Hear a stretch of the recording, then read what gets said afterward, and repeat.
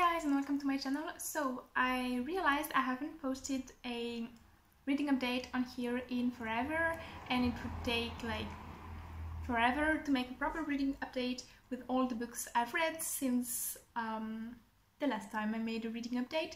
I have though all those books mentioned on my blog if you're curious.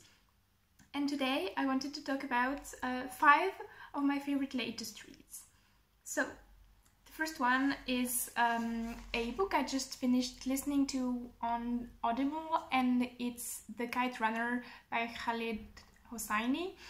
Um, I feel like this is a book that um, has been on my TBR for like forever. It's a book that uh, seems really important to read. I mean, even my mom had read it, and that means something because she doesn't read that much. So I knew I really had to pick it up at some point. And oh my god, I was blown away by this book. It basically, um, so it takes place uh, in Afghanistan and the United States because the main characters moves there at some point in the story. And it's the story of, uh, so the main character is the son of a wealthy man and um, it follows his story his friendship with the son of their servant and it has ups and downs. It's um, following their story through a civil war and it was absolutely amazing. I cried so much while reading this book but it was so worth it and I definitely recommend you read it or you check out the audiobook. It's narrated by the author and it was just amazing. The second book I wanted to talk about today um, is a young adult book and it's The Rest of Us Just Live Here by Patrick Ness. It had also been on my TBR so for quite some time.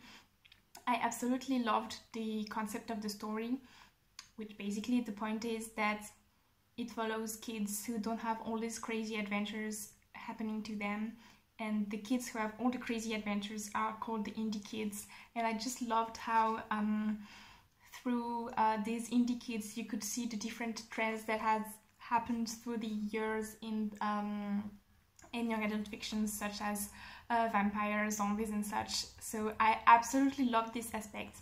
And that being set aside i absolutely loved the main characters. They were extremely beautifully written and realistic and i just loved this story. It's my second Patrick Ness book that I read and it didn't disappoint. It's also a book I definitely recommend if you haven't read it yet, though I know a lot of people have read it, so I was a bit late in the trend, but it was so worth it. Um, the next book I have on my list is a book I just finished reading. It was released this year and it's called Children of Blood and Bone by uh, Tomi Adeyemi.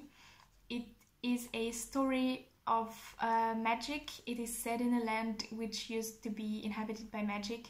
Some people had magic, but they were the magic was destroyed, and all these people were killed by uh, the king and his army. And the main character uh, lost her mom in this event because her mom had magic, and she has the marks that uh, show that she would have magic if magic was there.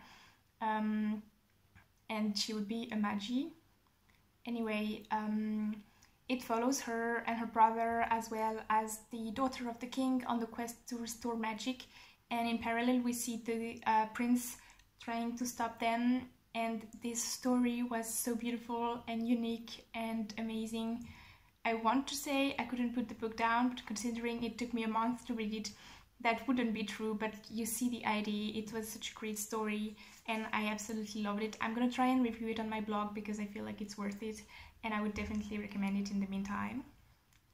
Uh, the next book I have is another book that has been read by a lot of people and has been talked about a lot recently because the movie was released on Netflix and yes, that's To All the Boys I've Loved Before by Jenny Han. I hadn't read this book before and I'm like, what what was I waiting for? Because it has been on my TBR since like forever, probably since I joined Bookstagram back in 2015. And when the movie was released, I knew I had to read it before uh, watching the movie. And basically, I read the book in like one day, watched the movie in the evening, and through the rest of the week, I read the two sequels and rewatched the movie another time. Um, I'm not going to talk about the plot of this book because you most likely know what it's about. And I just wanted to say that um, Lara Jean is such a fantastic and relatable character, and I just love this book, and I really love the entire trilogy, but the first one was my favorite. And the last book I wanted to mention today is George by Alex Gino, uh, which follows the story of a little girl who feels like I mean, it's a story about a little girl who was born in the body of a little boy and she just wants to show the world who she really is. And she's gonna try to do that um, during a play of Charlotte's Little World um, because she wants to play Charlotte and nobody understands why. It is such a beautiful and moving book. It's a really quick read and um, I would definitely recommend it if you haven't read it yet.